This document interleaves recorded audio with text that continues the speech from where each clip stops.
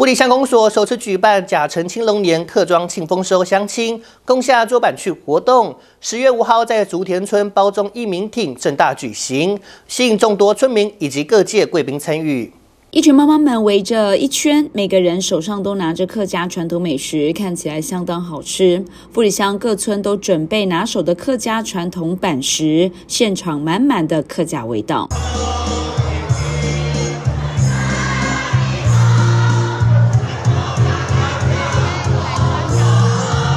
活动以祭祀天神及包中一民爷揭开序幕，现场各村村民积极参与板食制作，各村间相互交流，展示出客家饮食文化的多样性。里面的料我们是做菜包，菜包我们是有放高丽菜、绞肉、香菇、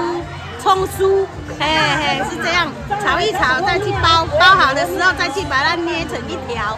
哎，一条这样这个菜包的形状就是这样子。马吉客家人说几拔，几拔，几拔，我也不能说。这马吉非常的软嫩，那用糯米去做的。昨天他们就开始做了，早上开始忙。谢谢们，欢迎大家来吃。这里是富里乡公所首次举办的甲辰青龙年客庄庆丰收乡亲共下做板去活动，十月五号在竹田村包中义民庭盛大举行。乡长表示，透过板石制作的交流，让更多人了解客家文化。